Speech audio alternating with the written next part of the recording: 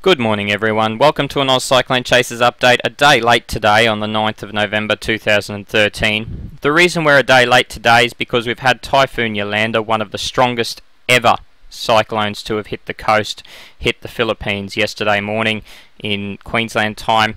We haven't been able to update you from the Australian cyclone outlook because that has been taking up a lot of our time. Anyway, we will get into the Australian outlook now and we will touch on Typhoon Yolanda and what it will do uh, over the next couple of days at the end of this broadcast.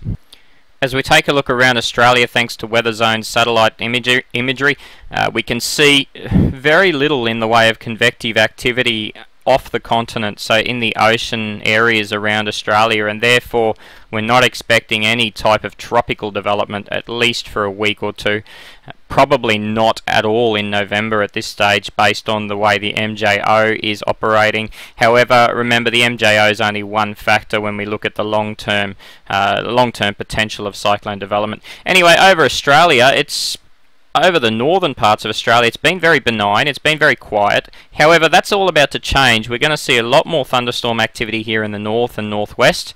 We're going to see a lot more thunderstorm activity now pushing through into southeast and central Queensland, maybe even into North Queensland. We'll see a few more thunderstorms developing over the Gulf country as well. So we are about to see a build-up period over the next uh, four to five days at least, possibly longer, depending on how much moisture can linger and how the other how other features like surface troughing uh, will operate over the next over the extended period.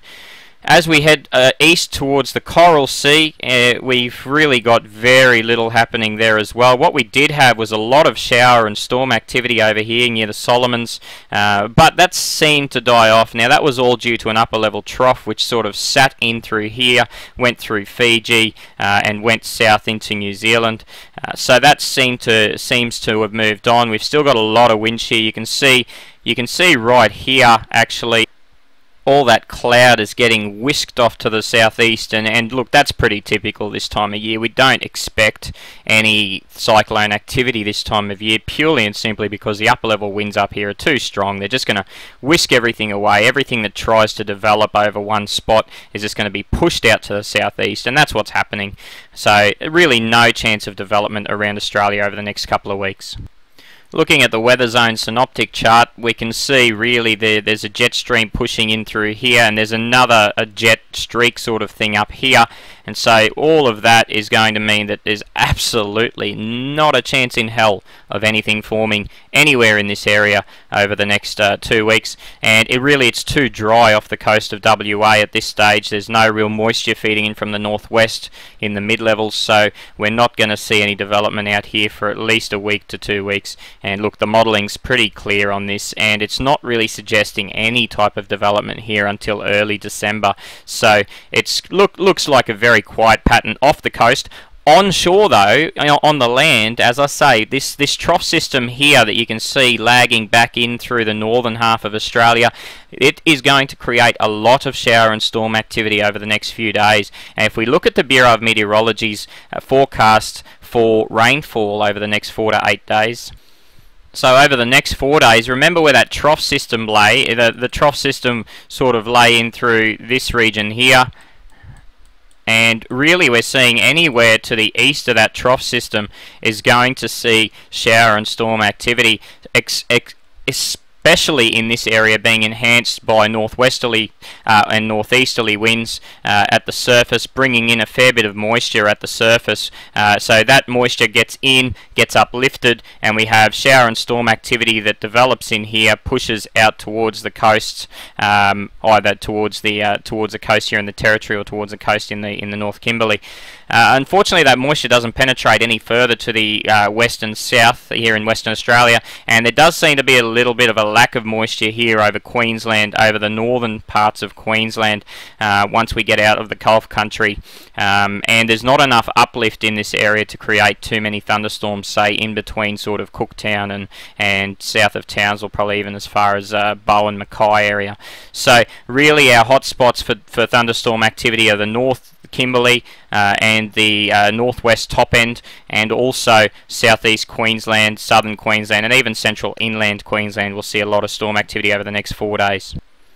in the next four days after that, we do start to see a bit of moisture penetration back into the uh, Pilbara, and we do start to see some very good storm activity developing or expected to develop in the Pilbara and the West Kimberley as well. So we're going to see a big increase here over the northwest parts of the country in thunderstorm activity.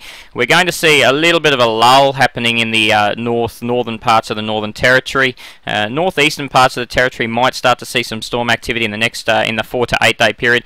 And finally, we start to get a bit of moisture penetration here, so we might actually see some thunderstorm activity after Tuesday or Wednesday over the northern parts of Queensland. And still, the southeastern central parts of Queensland are looking very, very active storm-wise. So don't be surprised to have a multiple-day storm outbreak in this area. Um, not, it's not usually uh, common here. Normally we get these trough systems that will will push in this direction and push pretty quickly, and you'll get one or two days of storms, and then it's all over. This is now suggesting, all the models that we're looking at are suggesting a multi-day storm outbreak over here. And interestingly, we're starting to see some more storm activity over the northern peninsula. Uh, so that's very, uh, very good for them too. A little bit of work, a little bit of stuff in the Coral Sea too. But once again, remember there's so much wind shear pushing that out to the southeast. There's absolutely no chance of actual uh, cyclone development or tropical low development to uh, to occur in this area. Looking at the global hazards outlook, uh, obviously we're seeing this week, this is from the 6th to the 12th of November, this week we're obviously been seeing that uh, terrible typhoon activity over the Philippines. Uh, it is expected to be fairly dry, and that's what we're seeing. We're seeing some fairly dry conditions here over the Solomons now that that upper trough has moved on, um, and this region here expected to be fairly uh, quiet. Uh, and over the next uh, week, so November 13 to November 19, as we get to mid-November, we'll start to see a bit more activity hitting Indonesia uh, and PNG because as as we mentioned in our last update, PNG has been very quiet storm act, storm-wise. So we will start to see a little bit more of activity happening there. We'll start to see more activity in the central parts of the Indian Ocean, whether that be the north north or, or just south of the equator. Um, and uh, there is some modelling suggesting a tropical cyclone or tropical low towards the end of the month out here uh, and pushing further away from Australia, so nowhere near Australia. Uh, and if we look at the MJO and the progression of the MJO, look, there's sorry before we do that, there's no clear indication over over northern Australia. But as I said to you, at, at the uh, over the next eight days, we're going to see a lot of storm activity developing over the northern half of the continent. So uh, it's very um, very pleasing to see, and, and some of that storm storm activity will result in some fairly widespread uh, 15 to 50 millimeter falls. So, and that's um, that's very uh, very comforting news for people who have been waiting a long time for some rain.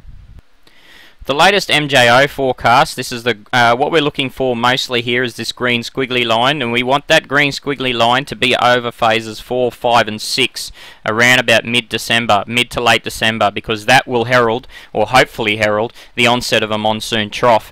Uh, at this stage it's all looking like it's it's going to plan, however there's a huge area, a huge sorry error margin uh, between by the 9th of November between the outliers that are suggesting a very strong MJO to the outliers that are suggesting there will be no MJO. Um, now the MJO is basically a westerly wind burst and what it does is it helps to bring in a lot of moisture uh, from uh, from the tropical regions into uh, from, from the tropical ocean sorry into uh, the northern half of Australia and the northern half of, uh, of the basically the maritime continent in here and so what that will do is it'll increase the mid-level level moisture, it'll allow more thunderstorm activity to develop. Um, and if we do have a decent high down south, it will uh, result in a little bit more convergence, and so we'll start to see a, a more shower and storm and even rain activity as it pushes into phases 4, 5 and 6.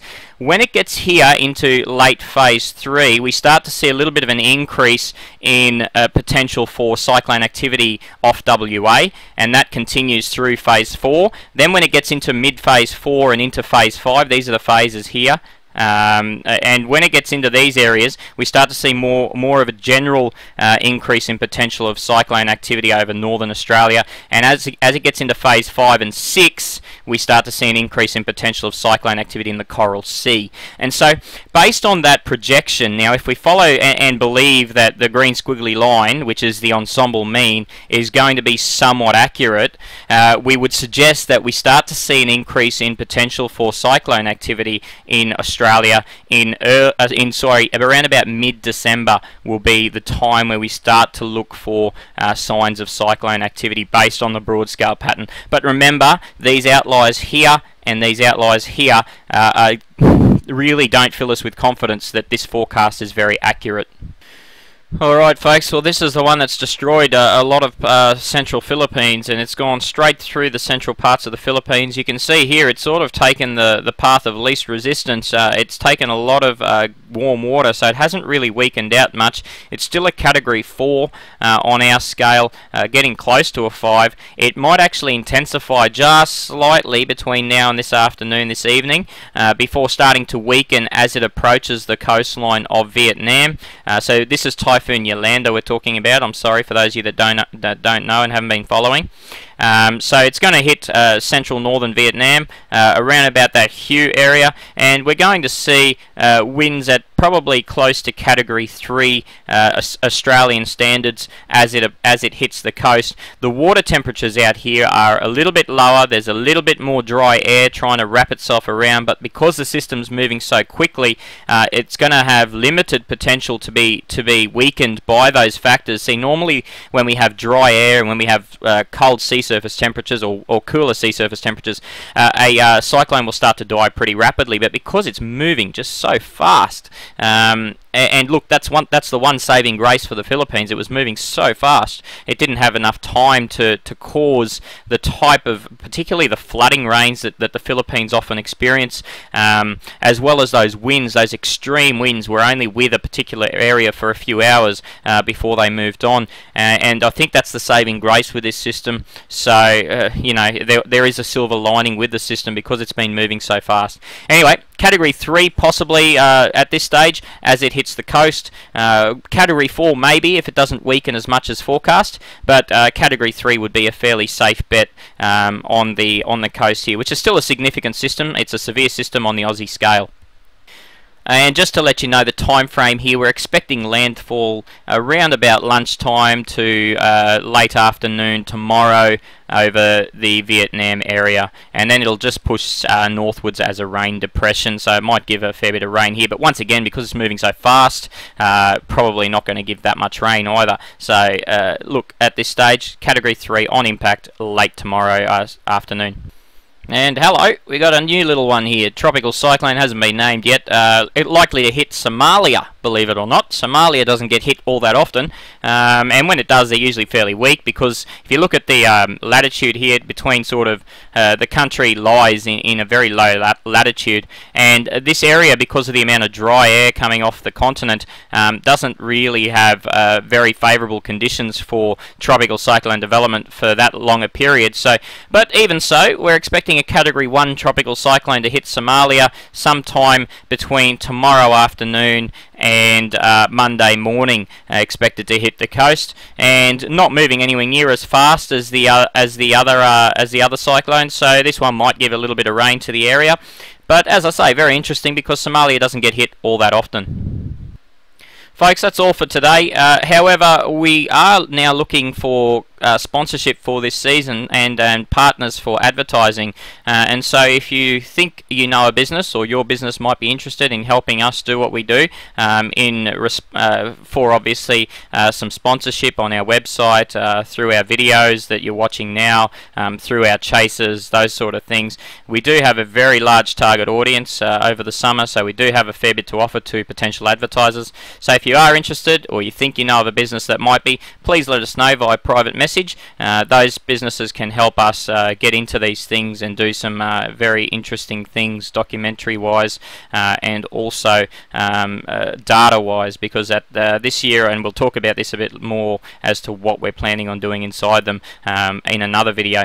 But suffice to say that we are planning on some interesting data collection this, this season. Anyway, folks, if you do know of anyone, uh, please uh, let us know.